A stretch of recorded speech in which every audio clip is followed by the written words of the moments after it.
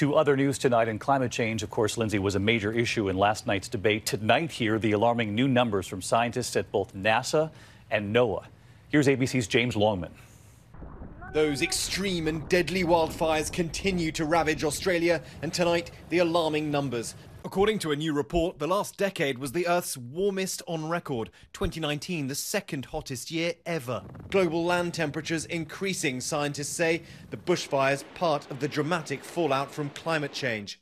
And rising over Australia tonight, this phenomenon, the so-called fire clouds, spawning dangerous weather conditions, fueling the flames. And the battle with the elements goes to the ends of the Earth. Heat levels in the ocean, the highest ever recorded, melting sea ice at a distressing rate. One study finding the amount of heat being released by climate change equals five Hiroshima explosions per second.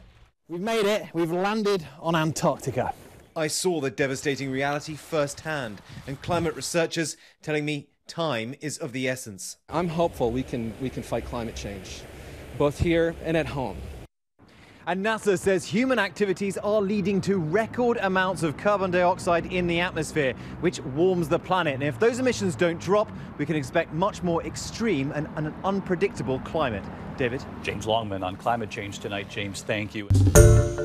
Hi, everyone. George Stephanopoulos here. Thanks for checking out the ABC News YouTube channel. If you'd like to get more videos, show highlights, and watch live event coverage, click on the right over here to subscribe to our channel. And don't forget to download the ABC News app for breaking news alerts. Thanks for watching.